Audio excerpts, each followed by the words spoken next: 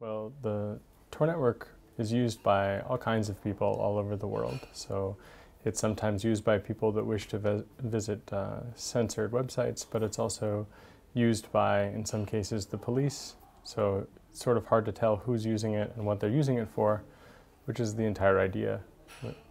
Effectively, the way that it works is that it, there's equal access for everyone. And when you use it, it's hard to tell what people are doing, and that's the design. So the design is that anonymity loves company. So we make sure there's a lot of people that are able to use the system. It's built with free software for freedom, and it uses strong cryptography, and it's decentralized. So it's not like a virtual private network or a VPN, where you send all your traffic to one person forever, and you hope that they don't give it up.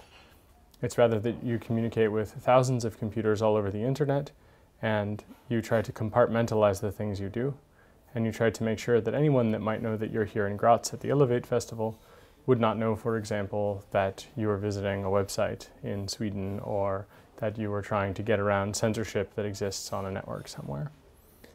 And basically, the way that this works um, in practice is in a web browser. So someone will just use this web browser we call the Tor browser, and without any configuration or setting any of that up, whatever they do in that browser goes through Tor. And so we try to make it as easy as possible, but not easier because we don't have time to do that all the time. Um, we're busy writing that software and coming to things like this.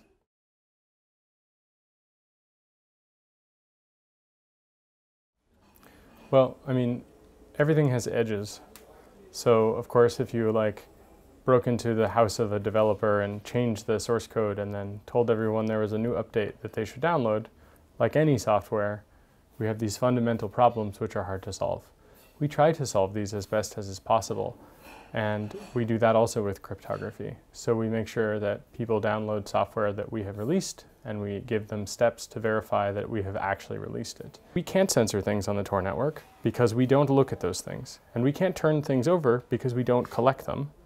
And in fact, we try to make sure that any one person or any one set of people could not do that. And that is in fact by design, and we call this privacy by design. Whereas the other design, a centralized system where you hope that someone won't put you into trouble or harm's way, well, that's what we would call privacy by policy, which comes down to trust. So if you happen to be a journalist and you're working on something that is really important, do you trust somebody you pay $5 a month for VPN service that's called Hide My Ass? Hmm. In this case, it might make sense to use a free service like Tor, and you'd recognize that at least you're compartmentalizing your risk. At least you have never exposed your identity to the Tor network. You've never given billing information. You've never done any of that stuff.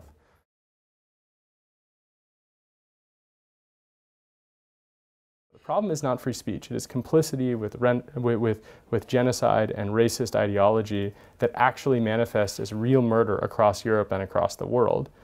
And so the real solution to that is to not have right-wing cops helping right-wing murderers espousing Nazi ideology and not glorifying it and not pretending that terrorism is only terrorism when it's a Muslim. I've read some pretty disturbing things, such as that when people call about immigrants in Athens, that the police will give out the telephone number of the local Golden Dawn and say, these people will help you with your immigrant, immigrant problem.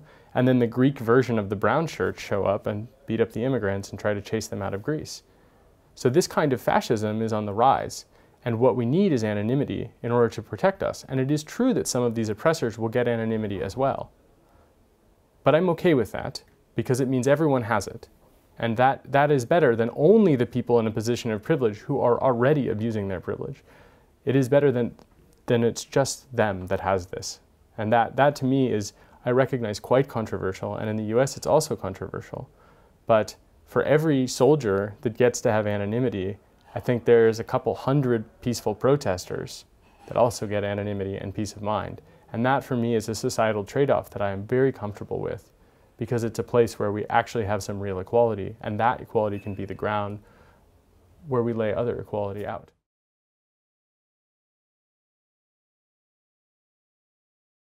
Probably if you can avoid being on Facebook I don't know why you wouldn't.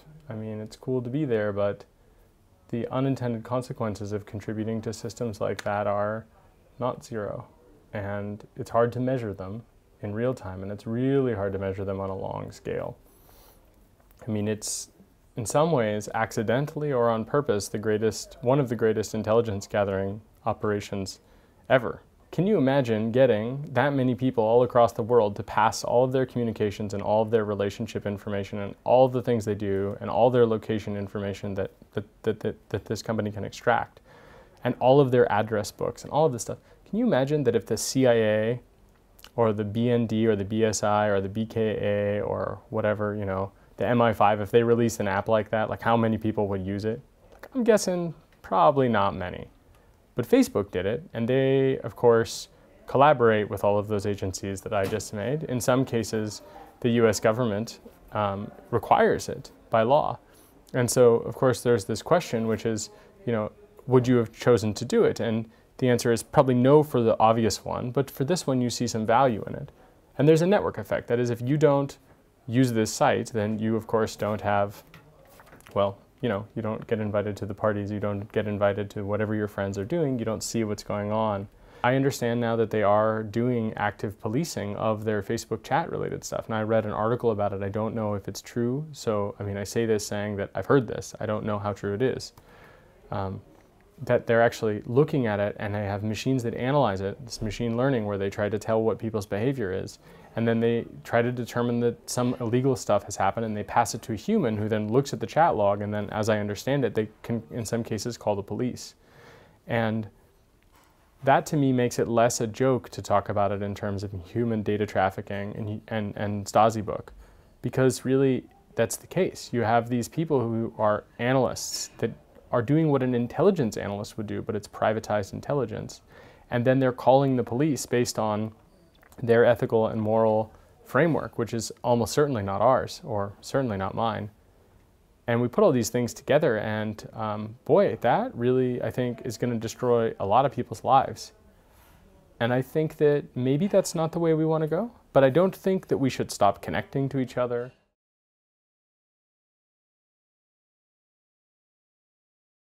What I think we need to do is see that we can change these things. We can restore the civil liberties and the freedoms that we used to have 100 years ago, for example, and it'll be all right. And we can do that technologically, but it's mostly a social thing.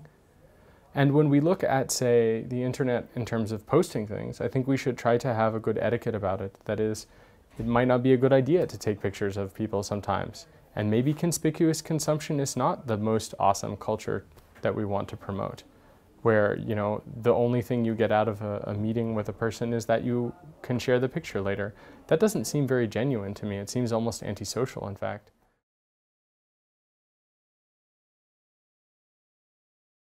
For example using off-the-record messaging and using um, tor and the tor browser those are okay things for now i think but we can do a lot better.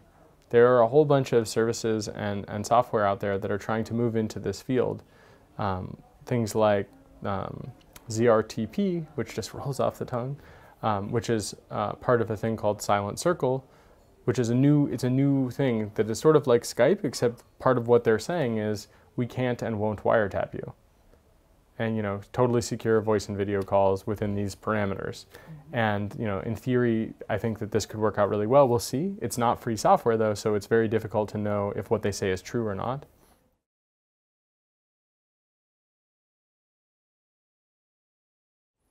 Well, I mean, the world ends every day for somebody, right?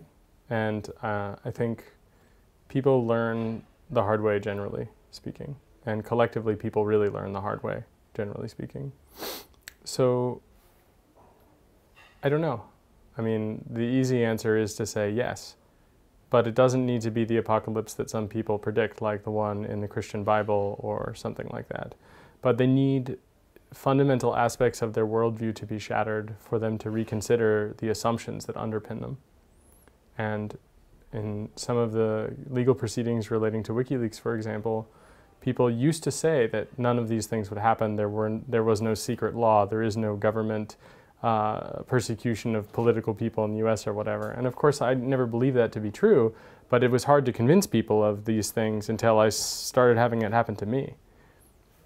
And in a sense, when the trust in institutions starts to be undermined like that, when the government starts to lose legitimacy, or a government starts to lose legitimacy that way, that is kind of an apocalyptic thing because the state is, if not one of, it is the most recognized idea as being valid from the 20th century, this notion of the state. And so we see with that, that as democracies start to lose credibility with their people and the people don't feel represented by them, that it is an apocalyptic event in a sense. And that is, I think, part of what has been shifting a lot of people's behavior. I think that that is part of what happened during the Arab Spring, right? I think that when Tunisia fell and Ben Ali was ousted, Egyptians said, hey, we're better than the Tunisians. If they can do it, why can't we? And so, in a sense, it was an apocalyptic event for Ben Ali and the Tunisian regime. And that was part of what gave hope and inspiration to people who thought that the situation that they were in was unending and hopeless. And of course, they did the same. And it is still ongoing in Egypt. I think probably it doesn't have to be that way for some people because they study history or they have perspective that is afforded to them by some other aspect of privilege or hardship that, that they learn from. But it does seem to be the case that even though we said there would be no more Holocausts in Europe, we saw what happened, for example, with Slobodan Milosevic. And we saw what has happened in Iraq and Afghanistan. And we see that otherwise good meaning and good and well-meaning people repeat history over and over and over again. And so I think many of those people the majority of them may need to have their world shattered about major things so that they might under, understand and then reconsider their core assumptions and uh, hopefully try to do something differently from a set of ethical and moral principles.